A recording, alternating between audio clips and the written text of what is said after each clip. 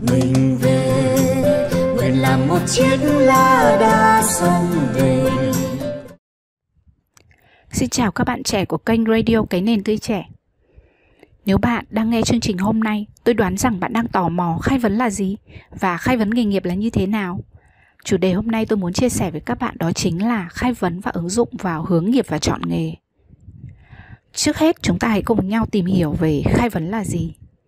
Khai vấn đơn giản là quá trình tương tác và gợi mở để giúp khách hàng tự mình có thể tìm ra câu trả lời cho những câu hỏi về mọi khía cạnh trong cuộc sống và từ đó thắc mắc nhằm giải quyết các vấn đề của chính mình.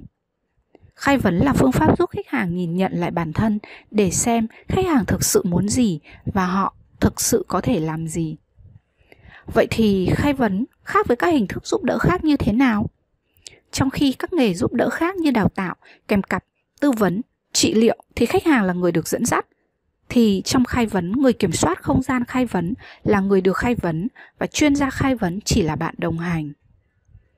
Chuyên gia khai vấn chỉ đặt câu hỏi gợi mở để giúp khách hàng tự tìm ra câu trả lời cho những câu hỏi thắc mắc và để tự giải quyết vấn đề của chính mình chúng tôi hoàn toàn không đưa ra lời khuyên, mà chỉ giúp khách hàng khai thác những thông tin và dữ liệu mà họ đã luôn luôn có, chỉ là họ chưa nhận biết và sử dụng một cách hữu dụng trong công việc và cuộc sống.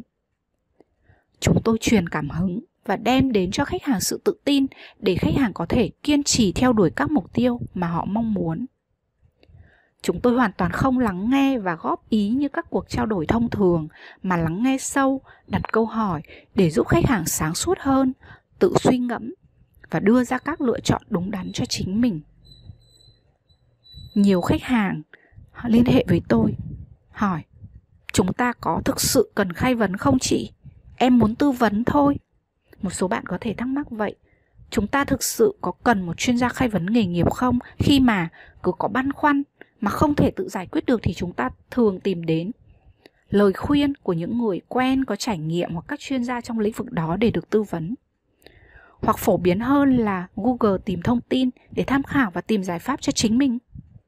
Vâng khai vấn không phải là cái gì đó thay thế cho các nghề khác, mà chỉ là một sự lựa chọn thú vị, mới mẻ để tìm ra giải pháp cho vấn đề của mình bằng năng lực đến từ bên trong mỗi chúng ta bởi vì khai vấn luôn luôn tin vào sự trọn vẹn trong mỗi con người từ khi sinh ra.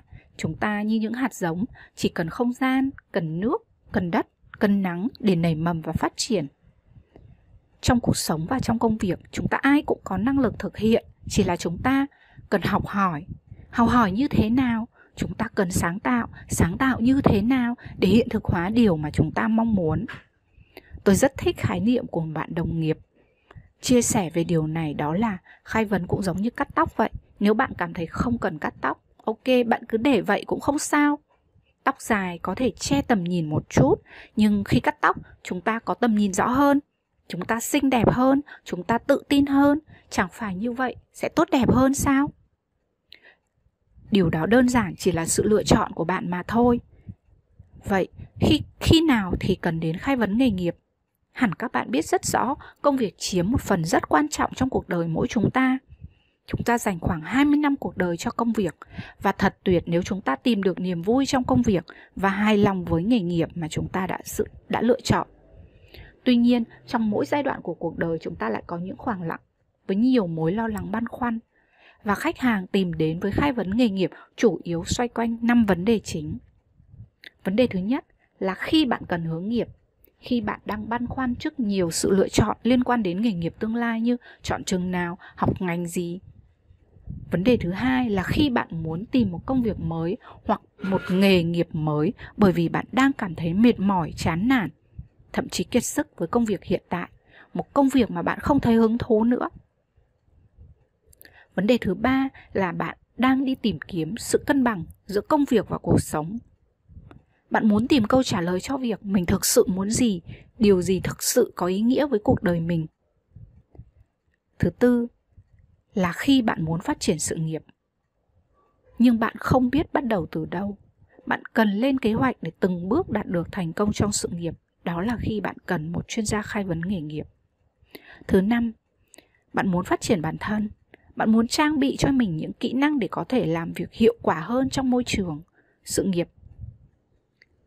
Ví dụ như bạn muốn thiết lập kỹ năng quản lý thời gian, xử lý xung đột, kỹ năng giao tiếp và kiểm soát cảm xúc trong môi trường làm việc. Và bạn không biết xây dựng những thói quen tốt, những kỹ năng này như thế nào.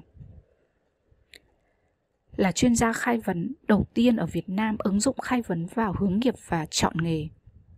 Thông qua các buổi trò chuyện khai vấn, tôi giúp khách hàng khám phá sức mạnh tiềm ẩn, tiến gần hơn tới sự rõ ràng trong hành trình sự nghiệp.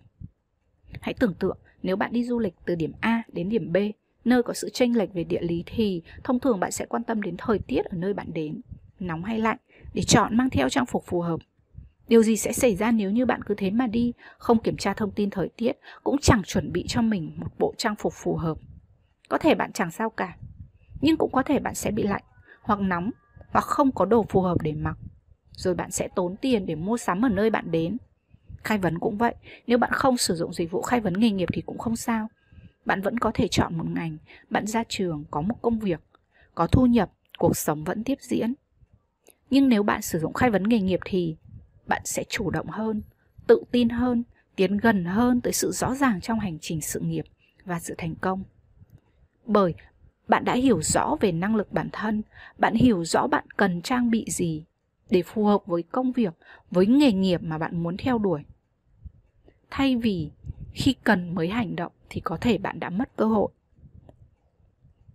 Hãy là nhà đầu tư thông thái cho tương lai của mình bằng trải nghiệm thực tế để biết khai vấn là gì để thấy được sự kỳ diệu đến từ bên trong chính mình. Có nhiều bạn chưa từng trải nghiệm khai vấn nghề nghiệp sẽ thắc mắc vậy cụ thể khai vấn nghề nghiệp sẽ làm gì ạ? À, chuyên gia khai vấn có dạy em tìm việc có dạy viết hộ CV cho em, có trả lời mẫu cho các câu hỏi phỏng vấn hoặc xin việc hộ em không? Câu trả lời là không ạ. Bạn không trả tiền cho chuyên gia để làm hộ bạn như bao dịch vụ khác trong cuộc sống, mà chuyên gia khai vấn sẽ chỉ là người bạn đồng hành, giúp bạn khám phá năng lực bản thân, phù hợp với mục tiêu nghề nghiệp mà bạn đã đặt ra để thành công trong việc chinh phục cơ hội nghề nghiệp đó. Vậy, làm thế nào để chọn chuyên gia khai vấn giữa muôn vàn chuyên gia có trên thị trường?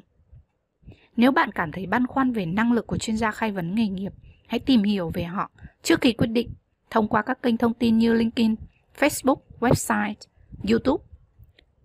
Bạn có thể thấy họ thường xuyên chia sẻ về các bài viết học thuật, chia sẻ về xu hướng việc làm và các vấn đề có liên quan thì bạn có thể an tâm về năng lực của người làm khai vấn. Rất mong những chia sẻ hôm nay sẽ giúp các bạn có cái nhìn hiểu rõ hơn về khái niệm khai vấn, một nghề còn tương đối mới tại Việt Nam. Nhưng tôi luôn tin rằng nghề khai vấn có ý nghĩa và giá trị phát triển con người, đã và đang từng bước được ghi nhận và khẳng định bởi rất nhiều khách hàng đã từng trải nghiệm khai vấn nghề nghiệp trong suốt thời gian qua. Xin cảm ơn các bạn đã lắng nghe và chúc các bạn một ngày làm việc vui vẻ. non nước yên bình khắp nơi chung lòng mình về nơi đây cái miền cũng non xa.